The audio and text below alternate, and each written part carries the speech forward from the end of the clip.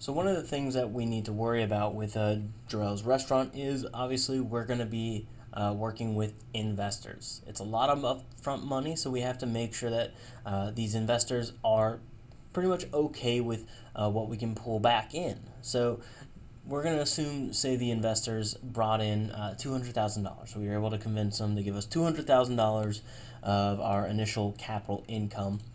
And we said, you know, we're able to give you guys back about $45,000 a year. All right, well, that's again going to be across uh, five payments, uh, so five years. So we have to look at that now in this rate factor. So again, just like we did with NPER, PMV, or PMT, PV, rate. And again, it asks for our number of payments, our uh, PMT, and our present value.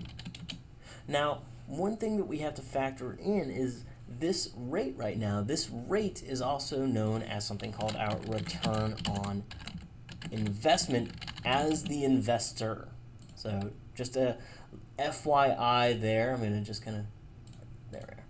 we That's that's something to kind of keep in the back of your head uh, when we're working with uh, this money. And the reason why is because an investor is going to look at that number and they're going to say, well, you know, that's not really a big number for me. You know, only getting about 4% uh, as my return on investment, uh, you know, I, I'm not really happy with that. Maybe if you were to up it to like a hundred and five thousand, yeah. See, that would be if you give me that once every five years, I'd be okay with that. But four point six, not really a lot. Now the problem is with a restaurant, again, uh, it's a word of mouth kind of thing. Just because you open the restaurant doesn't mean you're going to be immediately booming. It's you're you're hopefully getting people in. Some of the early adopters come in and they say, "I really like this," and start to get in. So one of the things we can kind of factor in is maybe instead we'll also add in because again we have to attract these investors.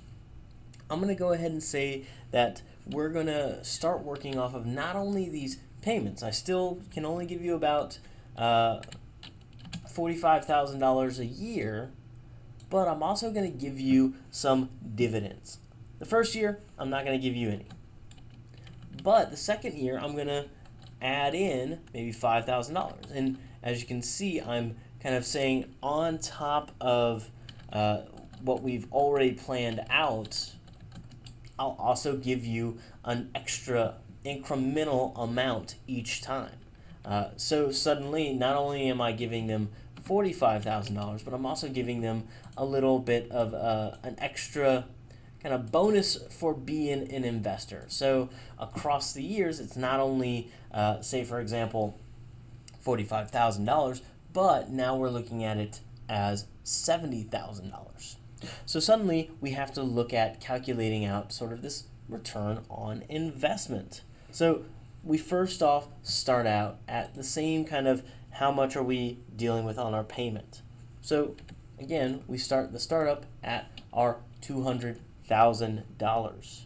Now, one of the things we are going to do is we've got these totals that we're going to be playing around with. So those are actually coming into play as well. That equals 60 equals 70. So suddenly what we're looking at is how much are we paying off of this? So right now, again, we still have the $200,000 that we're built off of, but suddenly that plus 45 knocks down our kind of saving, our, our amount, and we can actually kind of draw this down as well. We can see, oh, by the end of it, what we're actually starting to see is we're getting about $80,000. Now, one of the things we can kind of do is, well, maybe what if we want to project how much we actually want to have? Uh, our investors, we went to them, uh, we explained our pricing, and they were just like, you know what? I want 10% back in five years. Now, 10%, that's actually really nice. A lot, a lot of investors want a lot higher. So we say we want this now. Uh, return on investment. We're, we're saying we want a 10% uh, answer. We want a 10% uh, return here. Now, one of the things I can do is I can work on my present value of that. What what are you giving me now? What would that be really worth? And this is a, something that we can help factor in. So we go NPV returns the net present value of an investment based on the discount rate and series of future payments and income. So we're basically saying, oh, well, you know, technically speaking, this is where accounting becomes fun. Technically speaking, we're not really getting $200,000. We're actually getting a little different. We're actually getting, say, for example, uh, D26. We're getting that 10% that you want, but then we're also looking at it from our given rate, our C24, our C20 to C24. I'm going to be giving you this much money back every year. So in reality's sake, you're actually kind of giving me a little more, right? Yeah.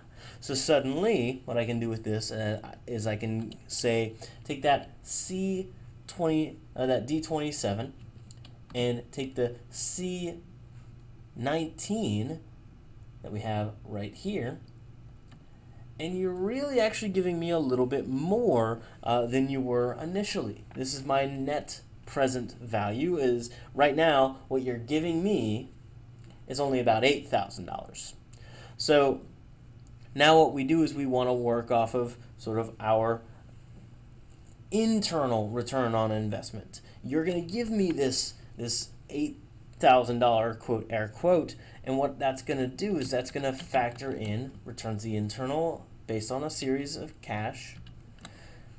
You're going to give me that and now from C19 to C24 what that's actually going to turn into is oh well now see we're going to do a return on investment of about uh, 11,000 uh, 11%. You're actually going to give me roughly that what you were looking for in that desired amount here.